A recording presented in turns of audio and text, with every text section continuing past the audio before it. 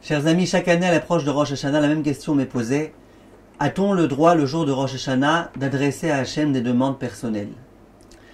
Et ce que les gens entendent en général, c'est qu'on leur dit, c'est toujours le même refrain moi que j'entends de la part de mes élèves, c'est qu'on leur a toujours dit, écoutez, le jour de Rosh Hashanah, c'est un jour durant lequel nous devons couronner à Kadosh Baruchou. Les Amlich et à Kadosh Baruchou. C'est pas le jour durant lequel nous devons demander des demandes personnelles.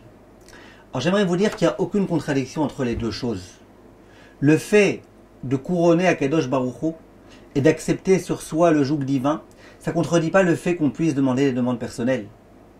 En effet, si je sais qu'Akadosh Baruchou c'est le roi et c'est lui qui décide tout, et je sais qu'aujourd'hui le jour de Rosh Hashanah c'est le jour où tout va être décidé, c'est justement le moment où j'aurai besoin de demander des demandes personnelles, en particulier des demandes spirituelles, la demande de pouvoir me rapprocher d'Akadosh Baruchou, de vaincre mon Yitzhara, d'en finir avec tous mes défauts, de renforcer ma émouna viennent les Chachamim et ils disent attention, la chose principale le jour de Rosh Hashanah, c'est de travailler, d'investir sur le fait de couronner Akadosh Baruch d'accepter sa royauté sur nous.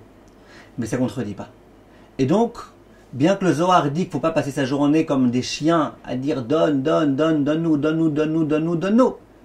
Mais malgré tout, consacrer un petit moment pour demander, en particulier ce qui est lié au spirituel, quelqu'un qui veut se marier, quelqu'un qui veut avoir des enfants, des choses qui sont directement spirituelles. C'est évidemment qu'on peut, et les poskim ils autorisent tout à fait. Le Razonish dit que bien qu'en général pendant Yom Tov, quand on fait une bénédiction pour un malade, on doit dire Yom Tov ou Milizok, Urfua Kerovalavo, qu'on sait très bien que Yom Tov c'est pas le bon moment pour implorer de toutes nos forces à Kadosh Baruch pour gémir, pour s'attrister.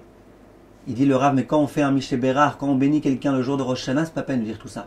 Parce que Rosh Hashanah, c'est le moment. C'est le moment où tu es décidé, tout est fixé. C'est le moment de prier. Donc n'oublions pas de prier, mes chers amis, pour avoir une bonne année et pour avoir la Geoula Bekarov, Bezrat Hashem, Berachamim. Beaucoup de brachot à tous et à toutes. Be'atzlacha.